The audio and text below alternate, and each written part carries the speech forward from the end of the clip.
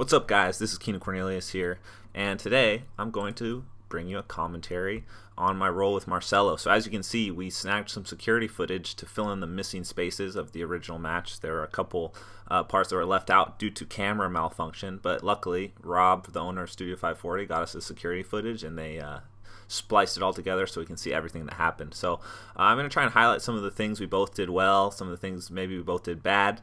Um, to so you guys can actually learn something. So uh, I always like to pull guard.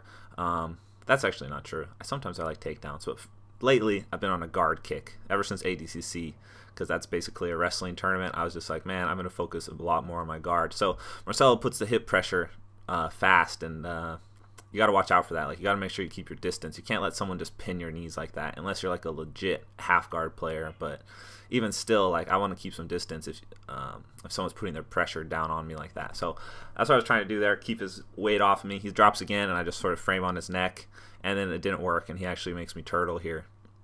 Um, the reason I turtle is like it's a bail maneuver. You know, if you feel like you're gonna get your guard pass, sometimes you got to turtle to like take your chance at escaping the back attack rather than letting your guard get past. And he goes for the uh, Marcelotine here, starts trying to set up a guillotine, but I was defending it, and he switches to the back and immediately tries to throw the hooks in. Now, what happened there is actually really important, so we're going to actually back up a little because this is kind of a unique thing that uh, I don't see a lot of people do. I actually learned this sort of movement from watching Roberto Satoshi a lot, and so check this out. I'm gonna we're gonna take this through clip by clip so he switches to the back here. Now when I feel him get the seatbelt and the hook, I immediately roll to the other the other side. See how I rolled to the other side here? Now I know he gets the seatbelt on the uh, controlling my left arm and my neck. So that watch what happens here. He gets the seatbelt controlling my left arm and neck here. Okay. Now this is really important because if he manages to keep me on this side of his body while controlling around my arm and neck here, like this, this is going to be a problem for me because that's the best side of control. Because then from here, he's going to be able to throw his left leg up and over and start to get this hook in, right? So what I want to do is actually go to the opposite side. I want to try and roll my body through to the opposite side. And you'll see that's what I do here. I roll and I go to this side. Now the reason that's important is because now I'm able to block this top hook and then the weight of my body is defending the bottom hook. So his top hook can't really come in here because my leg is in the way and my arm is in the way. So my arm's blocking. You can see I'm reaching out, anticipating a hook here, right? And then my hips are going to drop to the mat, and that's going to make it harder for him to throw in the bottom hook. Now, by switch by rolling to the other side, I've made his uh, seatbelt grip here a lot weaker, like a, probably a thousand times weaker. Okay, compared to being on the other side, which is bad, bad news. If you roll to the opposite side when someone gets the seatbelt, uh, you're gonna have a much better chance of escaping and I'll show you why right now. Check this out. So as we roll through, you'll see it's going to be way more difficult for him to hang on to me because his weight is all off to the left side. Like he has to be able to pull his whole body up while gripping with this grip here. He's going to have to bring his weight, his body all the way to the other side to be able to throw any hooks in, right? So what you do from there is then you go to your knees, and now he's not going to let go of the seatbelt because he knows that's his best chance of taking the back, right? For any good guy who's attacking the back, they want to keep the seatbelt because the seatbelt's obviously a dominant grip. But what can happen is when they commit heavily to that seatbelt and you get to your knees, they're so far out of position and their weight is so far up that it's going to be difficult for them to actually uh, maintain their weight on the back. Like you don't want to have your weight riding high. You want to be able to have your hips like low over my hips here instead of being up high like this and he's sort of hanging off the top. So what watch what happens here? I sort of stand up and I'm able to keep blocking this knee so he can't throw the hook in, and then I stand up and see how his weight is so high there. When your weight's that high, like you have no choice but to let go. And uh, I actually use this kind of a lot in nogi because. Uh, like there's I train with a lot of guys who are super sick at guard passing, and um, we can actually keep the video playing. I'm not just talking to a blank screen. People are super sick at guard passing, and like you have to turtle a lot. So having good turtle defense is really important. So here's actually where part of the video gets cut off. Um, he puts me in single leg X immediately, immediately here, and Marcelo has a six single leg X guard. Um, he's so good at getting to that. Like normally I wouldn't want to be in this position. I would try and escape this position as much as I can, uh, not like get caught because this is an offensive position for me, and I have to be purely on the defensive here. So you see I'm trying to control the wrist there. Um, he's getting my hand off his head and using a lot of wrist control. Uh, he uses that a lot. He immediately goes to the, the X guard here, And now we got to switch to the camera. We're over here in this corner. So you'll see I actually high step and try and back step there to get out of the X guard. So I managed to escape the X guard luckily, and uh, trying to start to work some passing. He uses a lot of wrist control. Uh, I noticed Rob was saying that you can see he's using that wrist control there, so I can't actually put my hands on him. Um, makes it makes it really difficult to pass sitting guard because you need to be able to grab the guy's head or do something like that. So we switch back to the high quality camera. He grabs both my legs and I go for the Kimura. Now this is like a A game move for me. Like I always go for the Kimura here, but he actually shut it down really well. He puts his knee on the inside of my elbow. See that?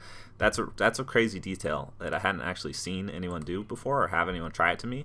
But uh, let's move this out of the way. Check this out. So let's move it a little forward. So I have the Kimura grip, and usually from here I can roll through or do some sort of roll through movement. But you actually see his left knee goes onto my elbow.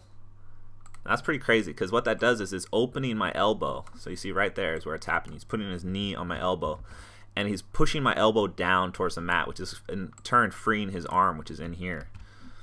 So here we go. Let's move forward a little bit more. So he pushes down my elbow and is able to pull his arm out, which is like, I'm really good at that position. I can usually hang on to the Kimura all day, but he actually gets out and uh, now I'm stuck in the turtle again. So what I thought was going to be an offensive position put me in a bad position again. Starts putting me in the um, uh, what's this position called? The crucifix. So he starts crucifixing me. I'm, I'm crucified here. What can I do?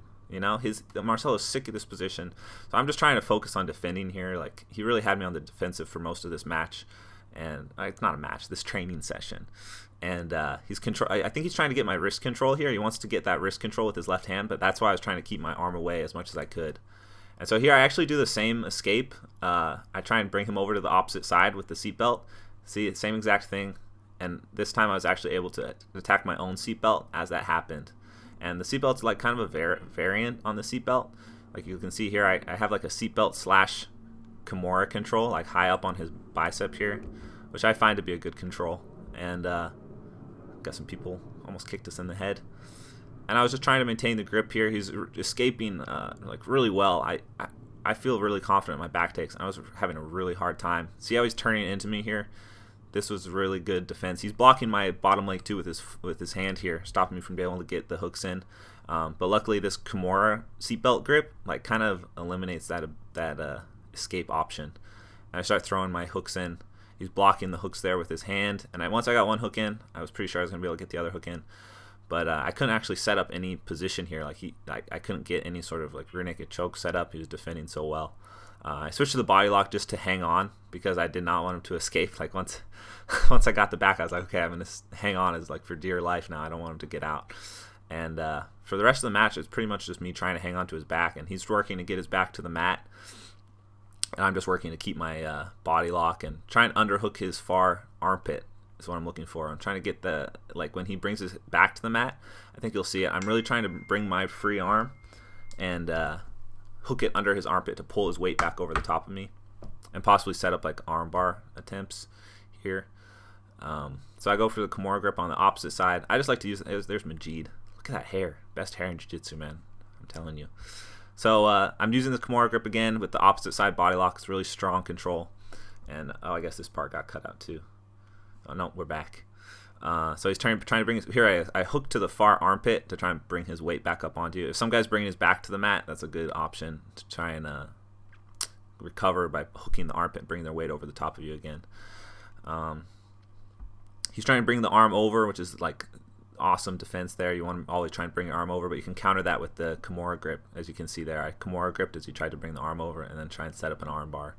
Um, like I, I try and underhook the leg, trying to get something. There wasn't a lot of time left. Like I actually went for the armbar because I knew there wasn't a lot of time left, so I didn't. Uh, it's like if he escaped, like he didn't wouldn't have a lot of time to crucifix me again. So yeah, that was my match with Marcelo. It was awesome opportunity. Uh, was like I really thanks to Marcelo for letting me roll with him, and I hope to go out to New York get some more training with with him and his team soon. I also rolled with Mateus, who like, he's a beast. Uh, so thank you guys. Thanks to the guys at Studio 540. Rob Zepp, thank you very much. Uh, Marcelo, check out Marcelo at mginaction.com. And if you like commentaries like these, I do uh, post commentaries on my website, uh, KeenanOnline.com, where I teach a lot of techniques, so you can check me out there. Uh, thank you guys so much for watching, and I'll see you on the mats.